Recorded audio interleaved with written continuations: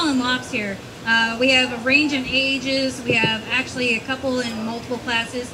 Um, when it comes, so that was the commercial that we did earlier, and we've been doing um, the fancies, which they come in four classes. You have your senior bucks, senior does, junior bucks, and junior does. Whereas the commercial, they have a intermediate, which are um, six to eight months old. So when, so it's baby to six months, six months, eight months, and then eight months and older.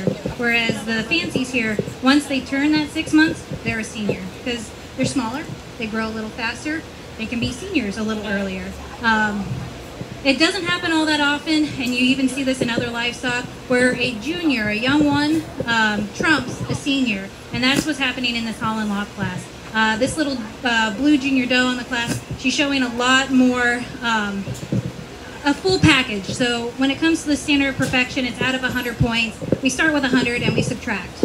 Or you can go the other way. If a rabbit has color, it's got all 10 color points. Uh, if it's got loppy ears, it's got its loppy ear points, um, and so on and so forth. Um, for today, with how hot it is and just uh, everything put together, she's got a better coat. Uh, my senior buck, uh, this tort here, he does have a good body underneath that. But that coat uh, is real dismal. He's out of condition, and it's starting to show that in his flesh condition, the, the skin and the muscle underneath. He's starting to show his age. Whereas this young pup right here, uh, whew, when it comes to Hollands, they do they're a compact body type, so you do want a nice full uh, body on the backside, even though they're a fancy uh, rabbit and have no true meat to them. Uh, but with Hollands, they are posed just like that She's okay now. She's getting a little too fancy being high up. Um, her crown is nice. She's got a nice wide muzzle. Uh, when it comes to the lop breeds, you want a, like a bulldog. Uh, and then depending on the size, the Holland lop, the mini lop, the French lop, and the English lop, you want kind of a bulldog animal or bulldog in a rabbit body. Uh, and this little girl, uh, it pretty much has that as far as a package. So she's my best of breed Holland lop winner today. What's on that one? CEP.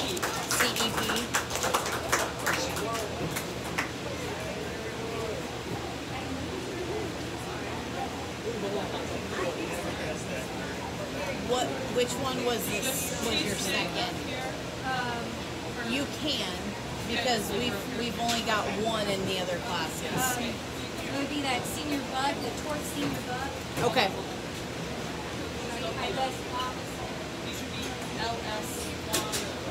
LSA one. Yeah. Okay. It's like an L, yeah, LSA. So we're just gonna leave that doe Okay. up there for, for our best fancy here in a few minutes. Okay. And then we've only got one dwarf, Ne- Netherland dwarf. Avery, you want to come bring her on up? Him? And then if you wanted to bring the like thing with the Um, let's did or, the Dutch. or whatever. Whatever's after. Class. Or. Hi. Isabel. What do we have here? Isabel. Uh, with sex and eight. Okay, so senior buck.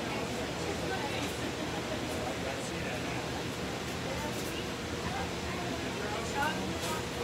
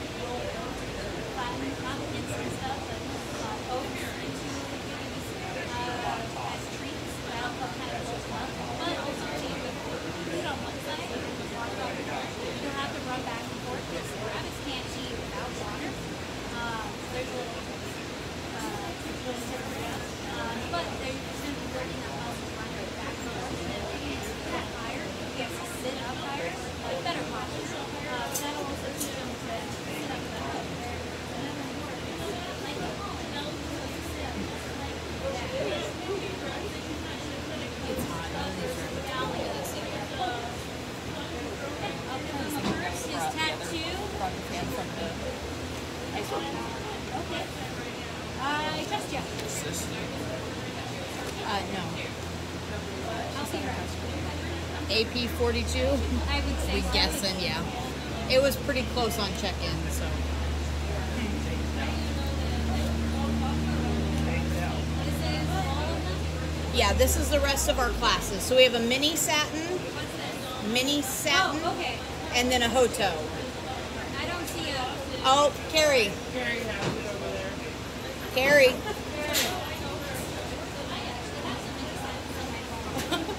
So that's gonna go to Avery here. Yep, with the blue.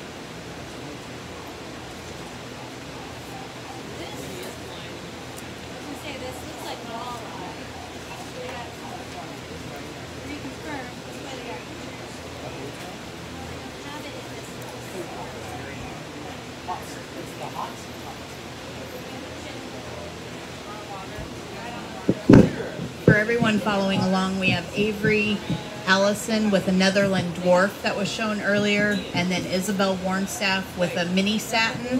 And right now we have Carrie showing a Hotot.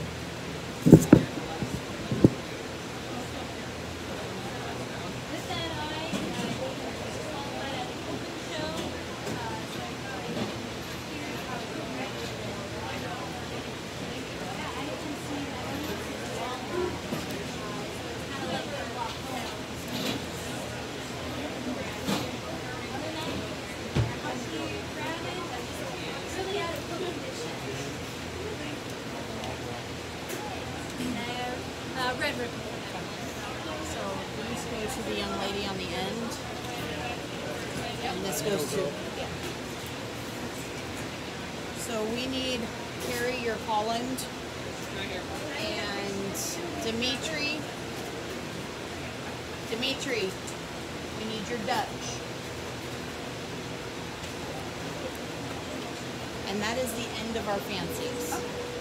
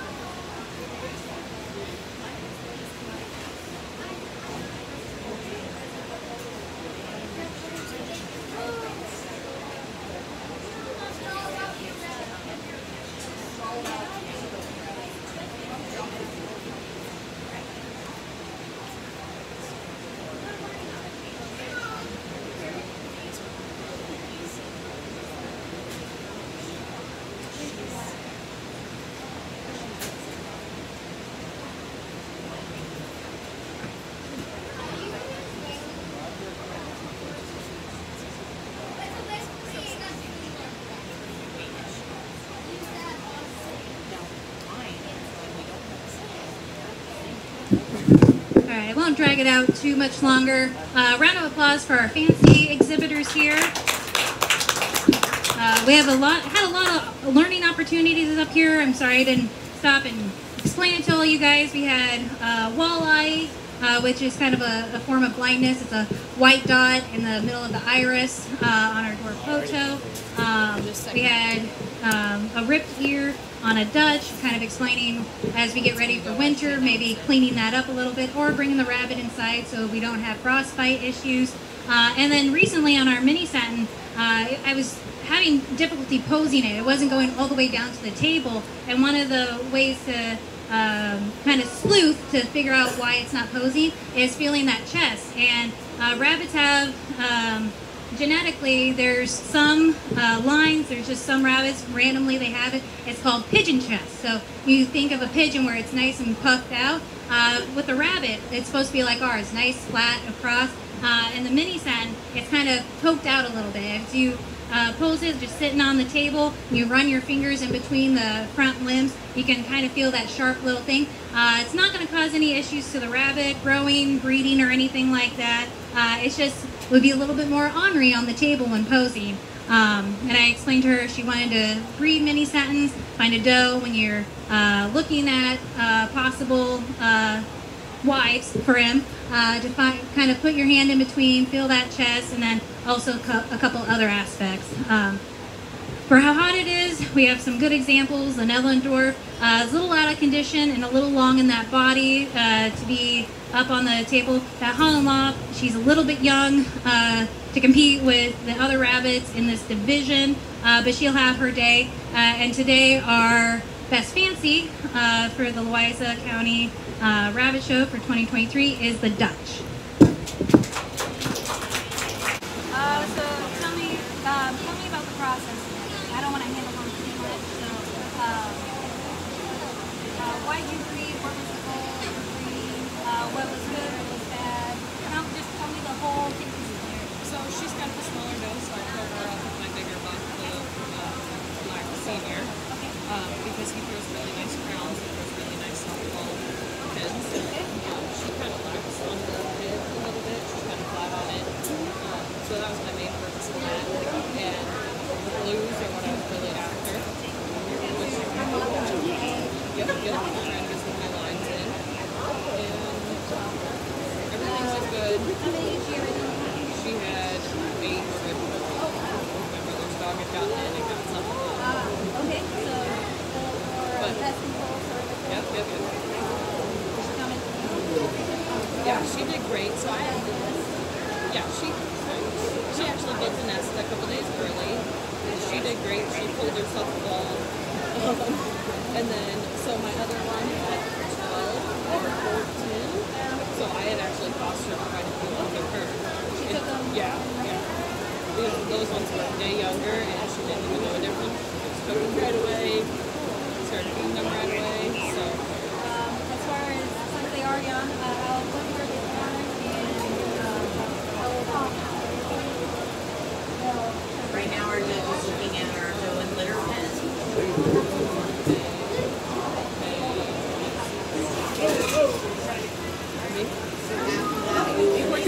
Sometime in May, May 14th. Okay. And then those ones are May 15th. Okay. Final answer. Okay. Um, so they're a little over, uh, a little over two months old. Because you were sick. How are they developing? They're doing really good. Um, I really like the little brown one and the little gray one. Not the Vino Mark one, Okay. but the little gray one. They turned out really nice. They have the real short, fat ears. I really like that. Yeah, um, um, and that's kind of why I paired those two together. Okay. Oh. She's a great mom, so I don't want to get rid of her, but I want to get out of this. Yeah, yeah, they, they might breed on white, not open, so we have white, white, Right. and some people think they can do, every color is its own breed, so I completely understand. Shying away from the, uh, the animal. I'm gonna reach in, I'm gonna feel everybody, see how healthy everybody is, and that's a good one. They've been able to stay on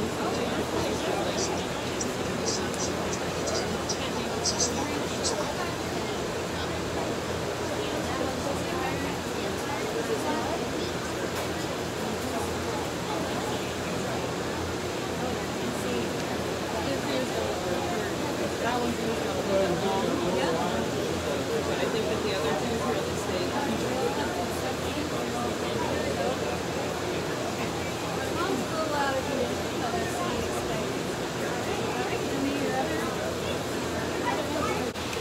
Alright, so I wanted the. Alright, these ones are also the black bucks. This was supposed to be my last litter out of him, but then I ended up taking him back. His old house, new house kind of failed out, so I ended up taking him back. Okay. But so I wanted to get one last litter out of him, hopefully get a little tricolor, and I do, but she's not quite what I wanted. So Yeah, and uh, Brendaline is really strong. You almost Yes, have yes. uh, uh, McIntyre. The band yes, yes. We've been trying to breed that out too. So I'm not sure if I will pair these two back together. I would say this is uh, counterproductive, what. Right, right. But she has a really nice body type, and so does he. So I thought I was going to try it, see what I happens. would say their heads are a lot nicer. Well, pretty well. You said she had. She had 12. Her mouth was positive. I have not heard those numbers for a while. Maybe like even this is the most I've heard. Yes. Um, It uh, was, did she naturally lose them, or did the dog? um, she actually naturally lost most of hers. She did not build a nest until she had four. Oh, And I had taken it, or, yeah. So I had taken the first three and stuck them with the other doe. okay. And um, so then she was like, oh, there's a baby. so did to. Yeah, and then she pulled a nest. She did great after that. They're all they're all healthy after that. Yeah. They're all bellied up. Right. She overcleaned two. Okay. Two this time. And so she just like already two of them, so those might end ended up pulling. Those it's not very good chance. Uh, what's your um, I either sold them as pets. Uh, no, or... No,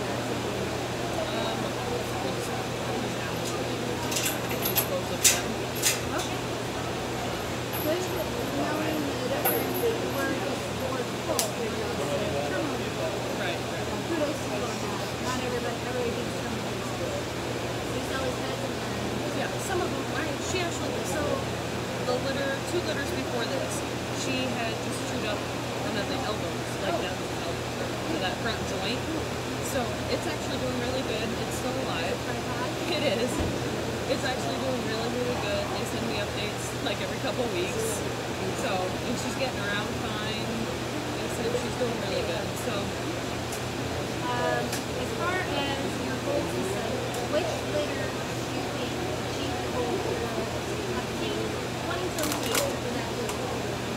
that one. She has not a lot nicer head shape and a lot better ears on her. That it carried through to the Yes. Alright, Yeah. can I pull these guys up? Sorry guys, my hands are sticky. You got a nice tort. Oh, you got a little white speck here. You would have had a really nice black tort. If it weren't for those little white spots. So look at them. For having all those, you're in pretty decent condition. She bounced back really good, I think. Oh yeah. I think they both bounced back pretty well. Health-wise, I would say for what we consider it, uh, definitely blue ribbon. Uh, oh, okay. Putting in your stuff. Uh, uh, healthier doe, bigger litter and stuff. Uh, but as far as health-wise, that one, uh, came, uh, other than that one. Yeah, at least some showable ones. And this one, not many showable ones, if that was your goal. Uh, inevitably, you want something to show off. Exactly. Uh, versus just a pen. These looks like she's ready to get them cleaned out. Delegate class. Uh, it's actually a class that I'm not quite familiar with. Uh, we don't have it in a lot of counties throughout the state, um, and it's hard on the doe. It's hard on the kids.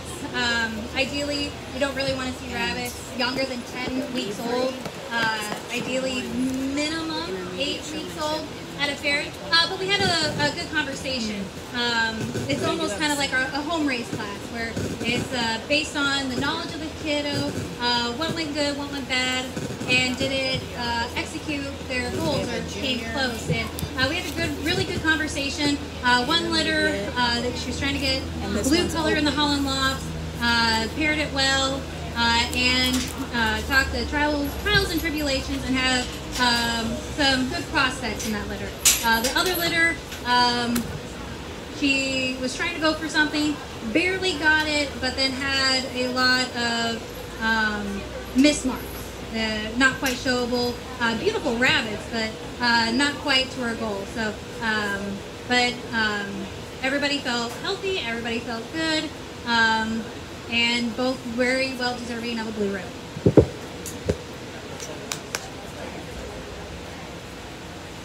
What's next? So we have best in show, Okay. And then we have a poster class and showmanship. Okay. nice.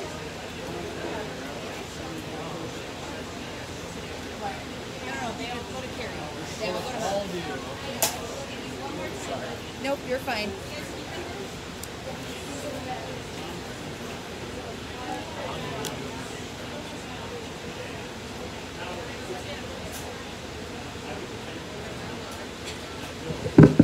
This time, we have our best fancy shown by Dimitri, which is the Dutch, and our best commercial shown by Grace, which is the Californian, to pick our best in show.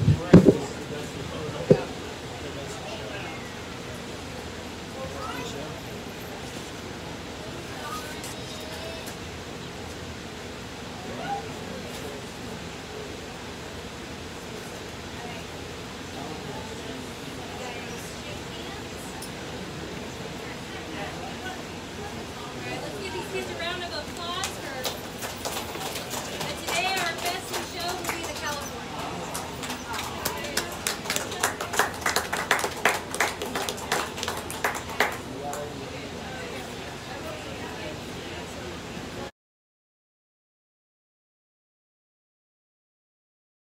Uh, junior uh, showman exhibitors, uh, pretty talkative, uh, which is great. You never want a shy junior exhibitor. If you do, you just got to get them out more.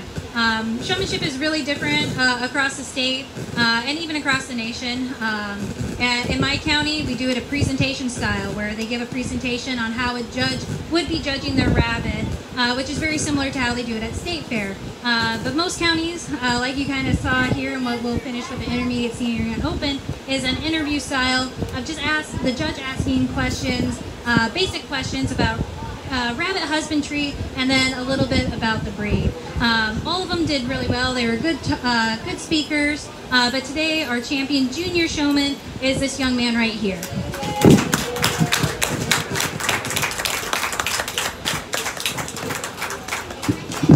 So our champion junior showman is going to Jonathan Warnstaff. So one is always the loneliest number, and each of these young ladies uh, did a fabulous job with their interview. Again, uh, at the state fair level, uh, they would be giving a presentation on how what a judge would be looking for with each individual breed uh, that they have. But they did a very good job with their interview style. Uh, unlike the juniors, I had these guys pose up their breeds uh, and then also sex their rabbits proper. Um, since each of them are in their own individual competition, round of applause to each of you for winning your divisions. Kids. I did want to announce that we did a herdsmanship award this year. This was new. It was in the fair book. Um, so we had volunteers all week come through the rabbit barn and they looked for things like cleanliness of the kids' animals, if they were fed, if they were watered adequately. Um, they came through different times of day. Um, they checked for things like, is the bedding clean underneath? Are the rabbits clean, healthy? They seem okay. And um, they gave each kid a score. We had some phenomenal feedback. Everybody said that the kids did a wonderful job with the heat, making sure that the rabbits were as cool as possible, that they were fed well, that they were watered well.